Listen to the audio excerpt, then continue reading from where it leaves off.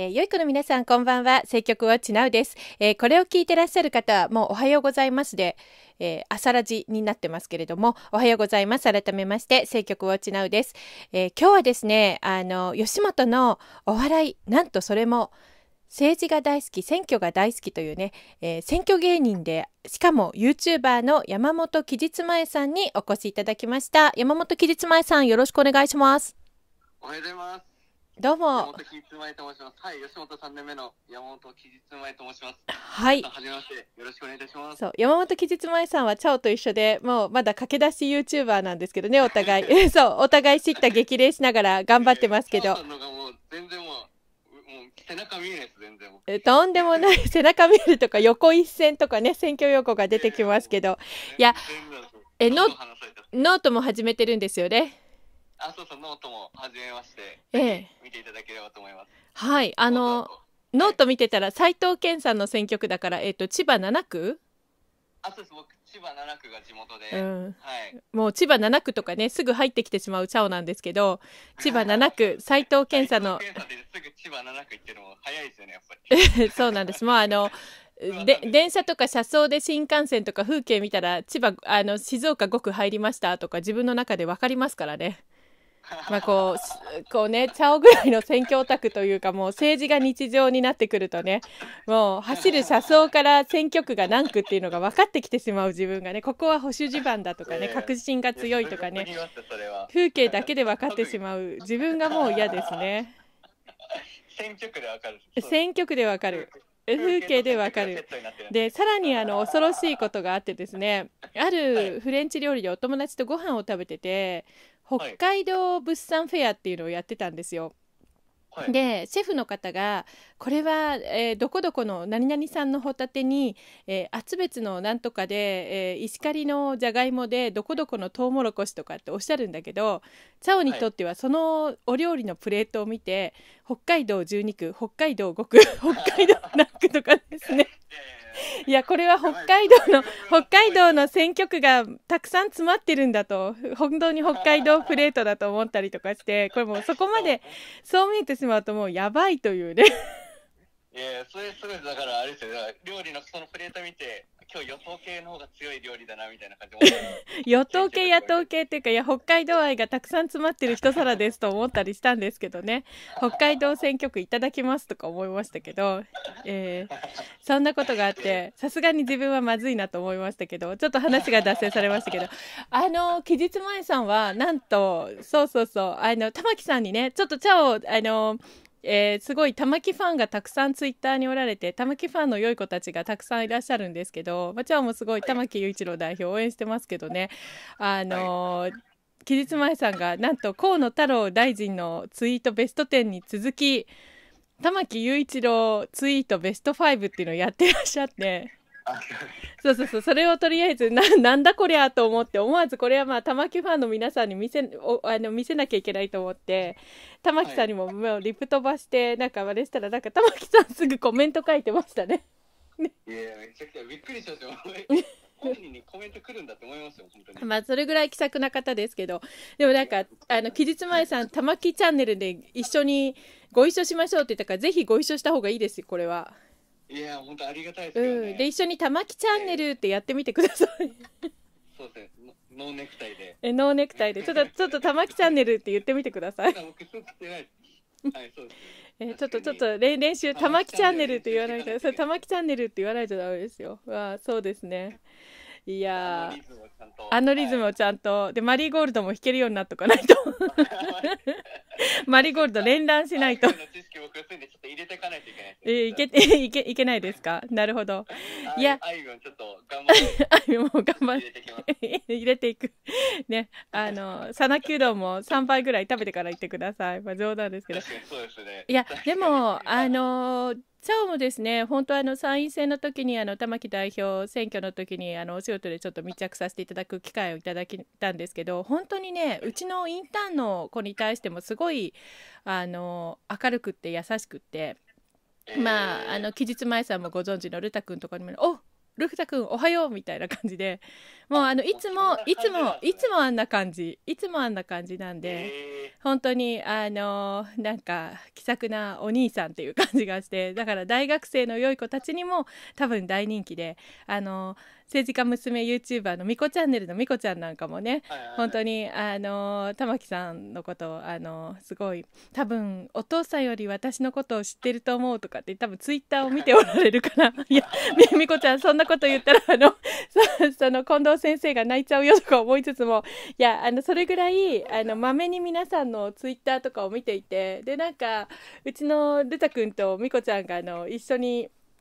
あの、バチェラージャパンごっこみたいな、なんかこう、えー私の YouTube で遊んでた時に、なんか二人でこの間あの、デートっていうかなんか動画撮ってたでしょとかって言って話しかけてくれたりとかして、それぐらいなんか、本当にあの、なんか忙しいのに、あの、気さくにそうやってチェックしてくださってたりして、でもそういう、なんかね、本当に面白くて、あの、だから、絶対あの、多分間違いなくですね、期日前さんのあの動画は絶対見たと思いますよ。で、多分そういうお笑いも好きだから、きっと、多分、あの、そうそうそうそう。でも、あの、あれ見てて思ったんですけど、あの、恵みの雨になるといいですねっていうので、こう、ちょっと茶を解説させていただくと、多分あの、うん、いえいえ、あれっていうのはね、結局、期日前さんは本当あの、千葉都心に比較的近いベッドタウンに住んでらっしゃるから、玉木さんのあの、香川の選挙区、本当にあの、自分家家の前田んぼっておっしゃってたけど、本当に玉木さんの香川の選挙区ってそういう選挙区で、裏庭にはイノシシが出てくるってほんまかいなと思ったけど、本当イノシシ出てきそうなとこなんで、だからですね、なんていうかあの、本当にそれと、やっぱりおばあちゃまあのお野菜とかを農家っていうか育ててらっしゃったりとかだからはい恵みの雨になりますようにっていうのはすごくこう農業圏地方の政治家の方にとっては当たり前かもしれません。例えば米どころの新潟だとかあの宮城だとかお米が取れるね佐賀県とかやっぱり梅雨時とか田植えが終わって雨が降らないとこれは豊作にならないわけですよ。でやっぱりいい雨が降るようにっていうのはすごいその恵みの雨になりますようにっていう感じっていうのはこうなんていうかいい意味で保守性っていうかすごいその地に足がついたこうその地方の当たり前の暮らしそういう目線をちゃんとお持ちなんだなと。で実際あの玉木代表はですね日本農業新聞っていう新聞があるんですけど、はい日本農業新聞でも一番農業について詳しい、えー与野党の党首は誰だっていうのをナンバーワンに輝いていらっしゃるんです。えー。そうなんです。農業についても去年の参院選の時に一番農業の問題について参議院選挙の時にもあの話されてたんで農業新聞のあの方も密着されたりしてました。取材でね。与与党だった時あれですよね。なんかはい。役職疲れてましたよねえあのそういったもちろん当然役職に疲れてるけれどももともとそのそういう前提で子どもの頃から日本農業新聞小学校の頃から読んでるという筋金入りのそうそうでも本当にあの農業って大事ででまたやっぱりすごいだからあの玉木代表とも私も取材とかお話をさせていただいた時にやはり農業の話とってもあのいろいろ話が盛り上がったりしたんですけどもやっぱりね私あの土の香り土の匂い日本の8割が田舎だと思ってるんではいやっぱ農業って大事ですよ。だからあのそう恵みの雨になりますようにっていうのはすごい自然な玉木さんらしい言葉だなと私は思いました。あじゃあ、チャオさんの時はもう全然違和感とかもえ全くないですね。うん。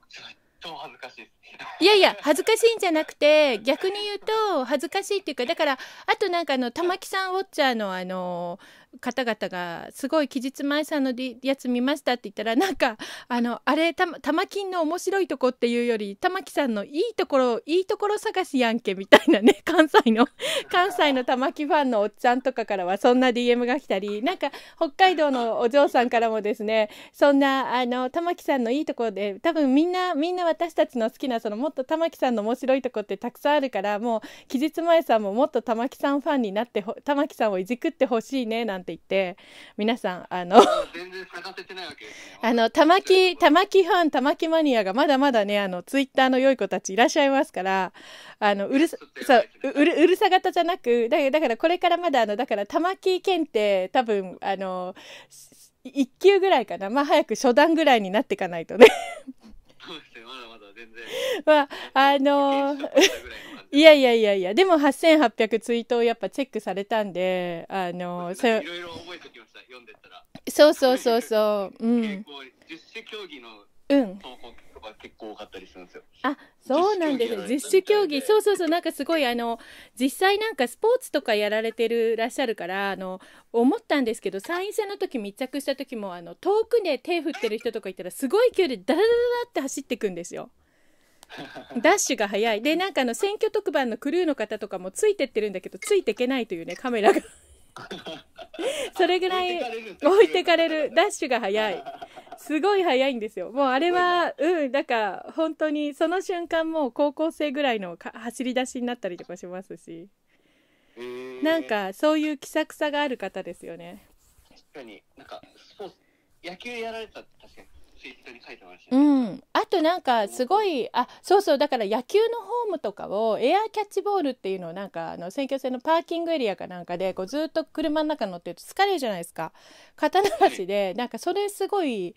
10万再生とかされてた動画があったんですけどあのエアキャッチボールですか？うんなんかね野球のホームで野球をこう投げる感じっていうのをパーキングエリアでやってて。でこれはやり投げ砲丸投げとかその野球を投げるのから砲丸投げからやり投げまでやってくれるというね。あ、いろんな人。いろんなのをやってくれて面白かったですよ。そういうそういうのをなんかそういうのを見てて面白い面白いなと思ったりとかありましたけどね。いややっぱり、まあ、期日前さんもじゃあちょっとはい。また玉木ウォッチをしていただいてええ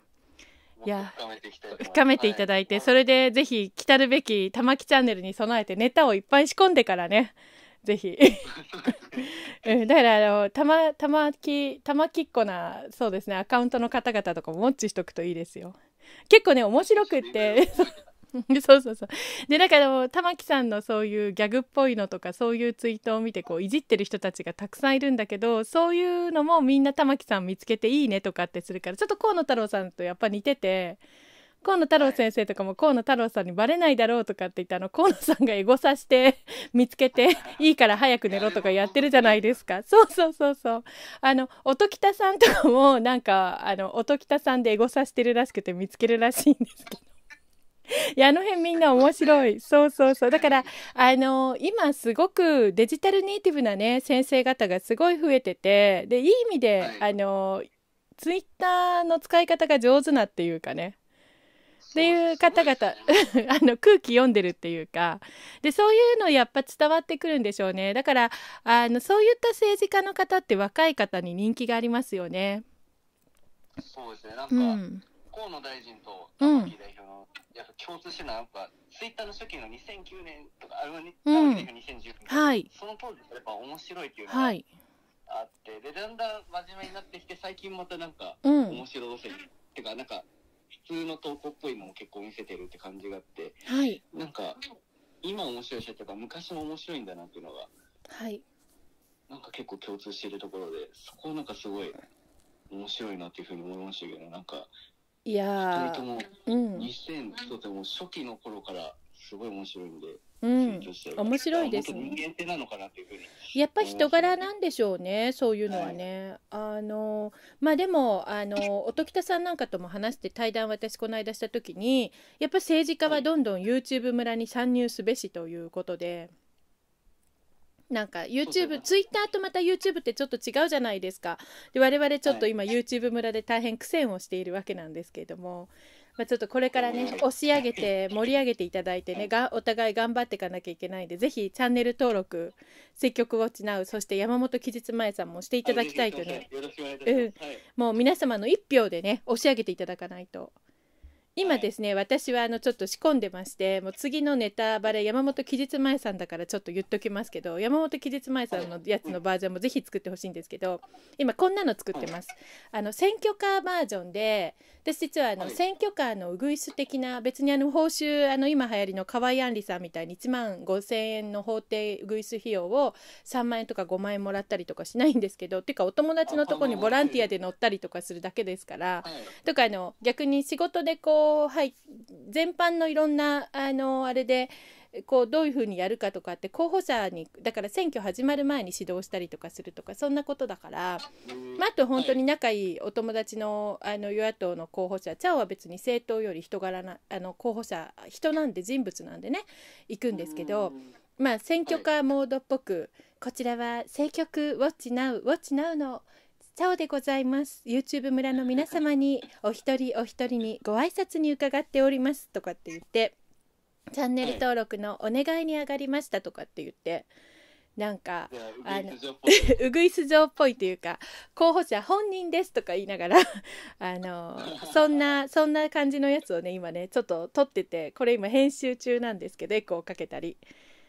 ちょっとそん、急に喋るの止まったら救急車来たのかなって思えばいいってことだね。えー救急車来ないんですけど。まあでも あのとりあえずいいですねそのツッコミ。だからそんな感じでねあの、はい。やってるんで期日前さんもぜひなんかそういうちょっと期日山本期日前が選挙カーに乗ったらっていうカラス編？男性はウグイスじゃなくてカラスっていうじゃないかカラスバージョン。やられたらどうですか？ちょっとちょっとやってみてくださいよ。どうぞ。え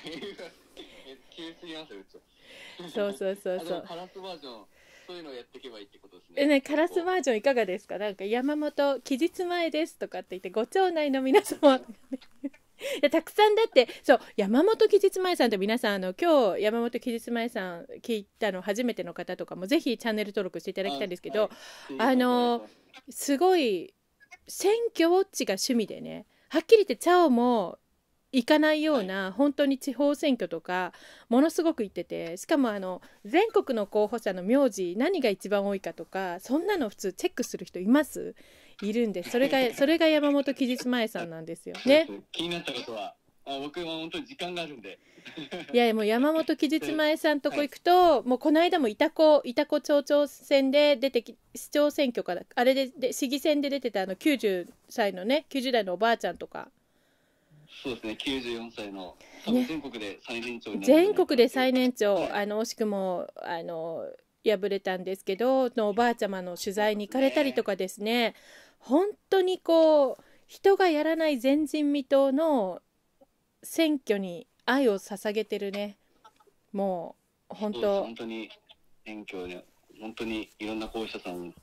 尊敬させていただいてるんで。うん絶対それそのその過程をね肥やしにネタにして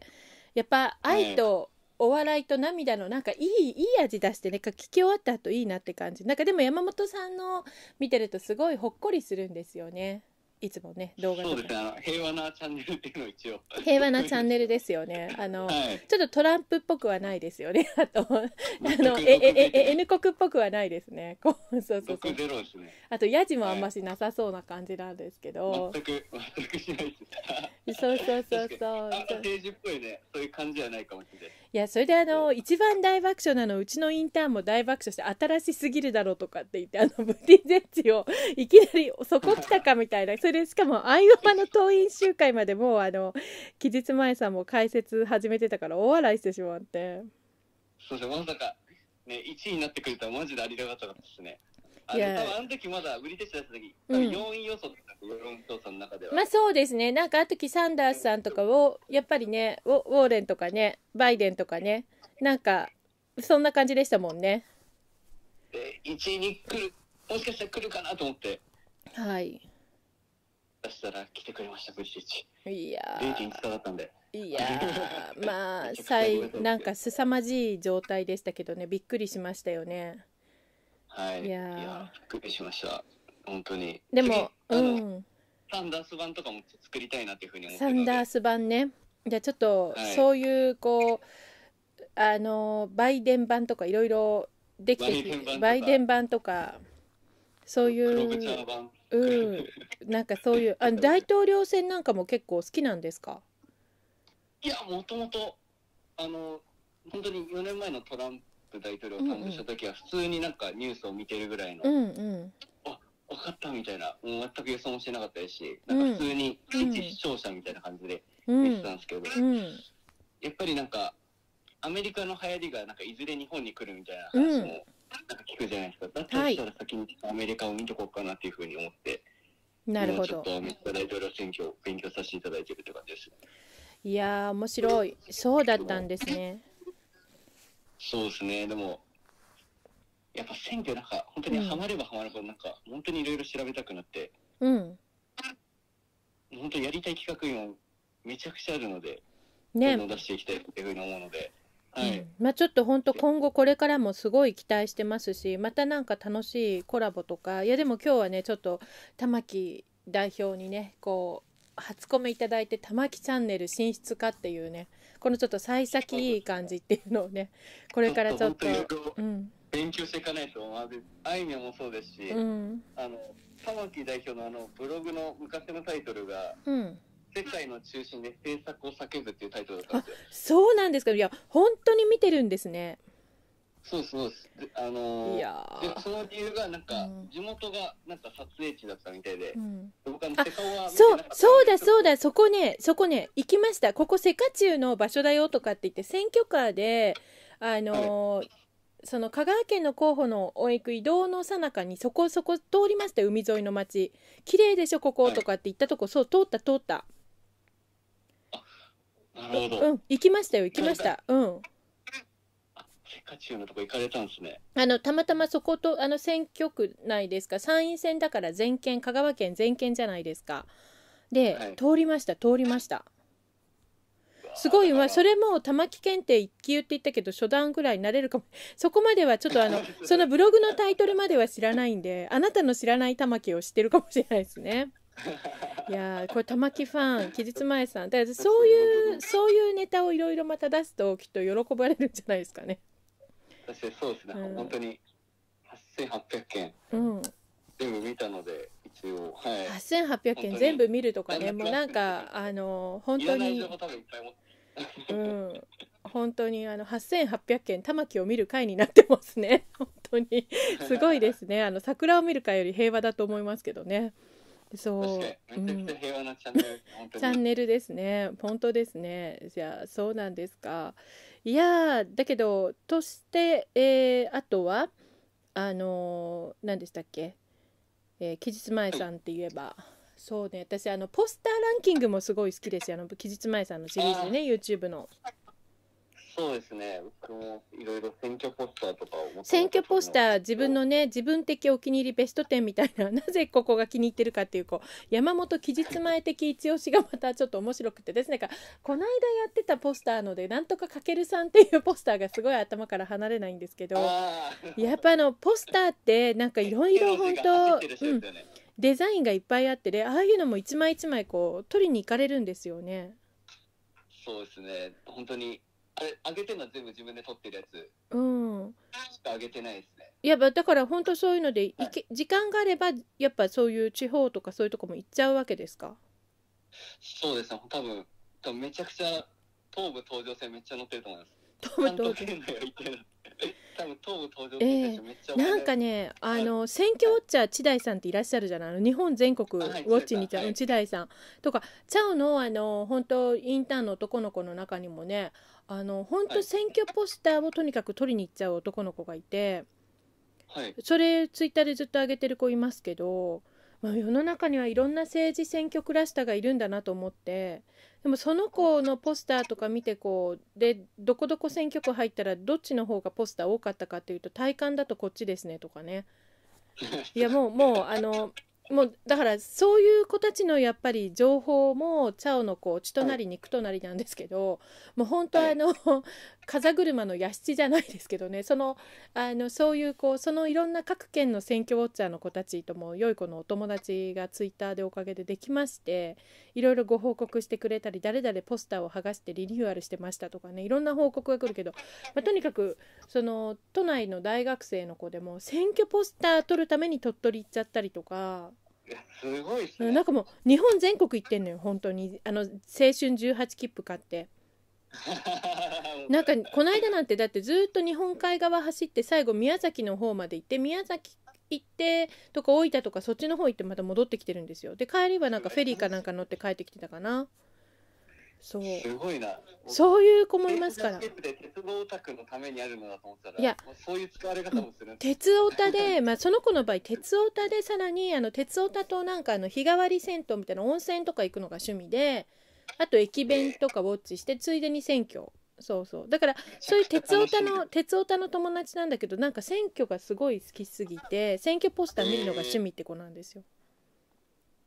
すごいですね。うん、そういう子もいます。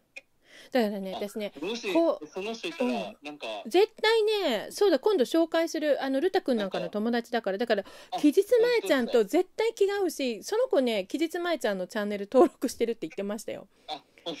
あの だからねあのそそのちびっこねあのチャオとその子曰く期日前さんとは感性が似てるって言ってましたから。なんかあの日光のうん。市議会議員選挙えで、なんか電車のポスターだけあ上げて当選してる人がいるんですよ。え昔のなんか石破さんみたいですね。昔の電車。昔の電車だけ上げて当選してる人がいて、ええ。その理由が全然わかんなくて気になってたんでぜひちょっと。その人は例えば元国鉄職員とか JR 職員とかそういうことじゃなくて？いやでも何にも情報が。え電車の写真で名前もないの？名前はあるでしょ？でもなんかもう白黒のモノクロの多分写真だと思う。なんかもう昔の電車のえそれそれちょっとまた後でそのその写真後でちょっと画像ここのこのちょっと、あの YouTube に貼っときたいのでちょうどその話題をしてる辺、20 26分あたりですね。ちょっとそれその写真貼っとくので期日前さん後でちょっといただけたらと思うんですけど。いや、はい。面白いですね。そんなポスターがあるわけなんですね。そうそう意味がわかんなくて本当にいやずっと謎だったんですよ。いろんないろんなだからポスターっていうのもまあその人の政治に対する政治理念とかアピールしたいことの自己表現の手段ですけど、キャッチコピーとか含め本当に全国地方議員の方まで入れても多種多様ですよね。そうですキャッチコピーとか、うん、名前を使ったキャッチコピーとかも結構好きで。うん、うまく掛け合わせてる人とかなんかトトレンドみたいなやつもあるしね。色とかもね時代があったり。そうですね。最近ラグビー増えてますしねめっちゃ。あラグビー増えてる。ラグビー増えてますね。ラグビーっていうのはどどどんな感じなんですか？なんとかにトライとか？君にトライとかそんな感じ。っていうのをはい入れてる人結構増えてる気がします。今までそんな出してなかったと思うんですけど。ラグでもうへえもなんか人数が増えてるような気がします。へ僕の体感でえラグビーか。そういうやっぱりあの旬なのってあるんでしょうね。そうですね、うん。多分そうです。旬とかはあると思います。うん。トレンドに合わせて何々を新しくとか前もっと前にみたいなのはよくあるけどね。そうですね。うん。そっか。共産党とかも消増税後は5%に切り替えてますからね、選挙ポスト絶対消費税5%みたいなキャッチフレーズにああそうですか。増税反対とかやってますけど。まあだからそういうやっぱりその都度その都度の時の政策とかそういったことで、えーまあ当然のことながら選挙ポスターリニューアルしたりマイナーチェンジしてるってことですよね。あとあのその地域地域のご当地の色なんかもありませんか？あありますね、うん。なんかやっぱりみ緑が多めだったりとか海沿いのとこ、海海っていうかこうそういう色だったりとかなんかやっぱりこうありますよね。そうですね。う、ん。なんか茨城県の桜川市はもう桜めっちゃ多いです。あその そうそうそうそうあの期日前さんの桜川それは何選挙ですか？し市議会議員とかうん桜川の市議選だったかなんかの拝見させていただいて桜のね桜がすごいあのピンク色とか桜の絵が描いてあるようなあの、ポスターいっぱいありましたね。今でもまさにそのポスター桜を見る会だと旬かもしれませんね。あ確かにそううですね。ん。まさか桜が桜がこんなに流行るとは思いませんでしたけどね。そうですね。うん。確かに。でも桜の花ってちょっと政治家にとってはあの桜ってすごく綺麗なものなんだけど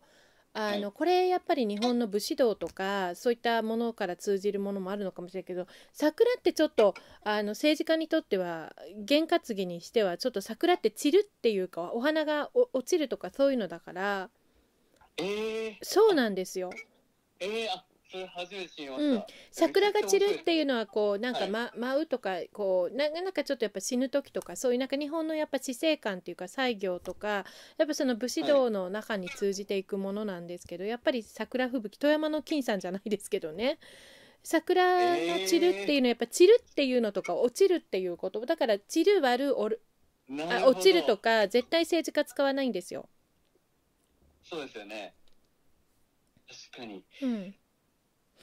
例えばですね、あの会合とかで会合とかで無事やか無事にしめやかに執り行いましたっていうふうにあの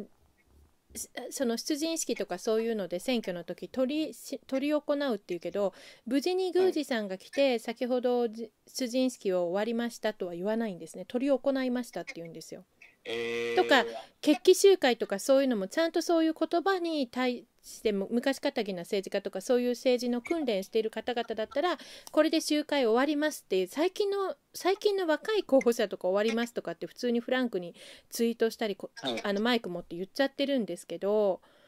はい。お開きにしますって言葉使いますね。確かにいけますね、それ。そあでも結構そうですね。なんか、言葉、確かにお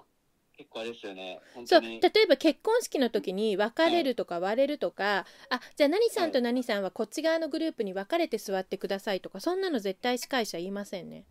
別れる割れる離れるとか絶対ダメなわけ。結婚式とかのタブーの言葉ですね。これうん。はい。お葬式の時とかも。選挙もそうなんですよ、落ちるとか散るとか絶対ダメっすね。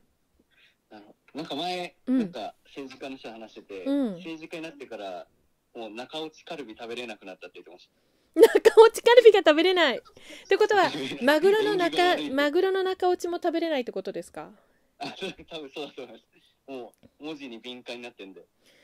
いやそこまで敏感になる、まあ、そこまで験担ぎをなさってるってことですねその人は逆に言えばまあいやでも中落ちカルビは普通に食べていいと思いますけどねいやそれあのはい期日前さんのツイッターのよく選挙あるあるで政治家になってから中落ちカルビをぐっと我慢とか選挙あるあるで書いたらどうですかねあ、そうですね。はい。ちょっと、うん投稿してみます。あ、でも一回、多うん分書いたかな、それ。それ書いたいや私はいその中落ちカルビは初めて聞きました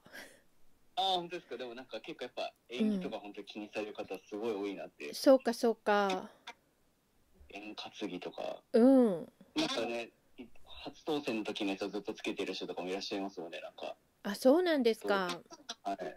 まあだからそういうねやっぱ験担ぎもされるっていうまあね、まあ、運も味方につけて勝たねばならないですからねそうですね。まあちょっと私たちも運も味方につけてね、まあ、YouTube も頑張っていきたいと思いますけどじゃあ最後になりますけれども期日前さんちょっと最後のお訴えでねあの今日はお開きにしたいと思いますけど最後のお願い お願いします。はい。えー、良い子の皆さん。こんな感じですか。良い子の皆さん。えーぜひ、山本キッズ前の、えーチャンネル登録、そして、吉本で普段劇場でいろいろ選挙の話とかもさせていただいておりますので、ぜひ劇場に足を運んでいただければというふうに思います。ぜひ、玉木チャンネルでだけはチェックしてください。よろしくお願いいたします。はい、ということで皆様のお力でもう一押しあと一押しの山本期日前でございます。そういう感じで言うべきだった。すみません新人でございます。期待の新人大型の新人でございます。どうか皆様押し上げてください。山本期日前です、えーチャンネル登録ぜひよろしくお願いいたします。玉木チャンネルもきっと近日ねあるかもしれませんのであのちゃんを楽しみにしてたいと思います。ありがとうございました。はい。え山本期日前さんでしたチャオですはい。ということで、皆さん、山本期日前さんでした。えー、期日前ちゃん、本当に頑張ってほしいと思っているので、えー皆様もぜひ応援してあげてください。そして、チャオの YouTube もぜひ皆様、あの、押し上げていただけたらと思います。ノート、ツイッター、えーあの、すごく私のは連動してますので、えー皆さん、ぜひ、あの、一緒に3つともフォローしていただけたら幸いです。えー今後とも最新の政治情勢、政局をウォッチすべく、政局ウォッチナウ発信していきたいと思います。それでは、チャオです。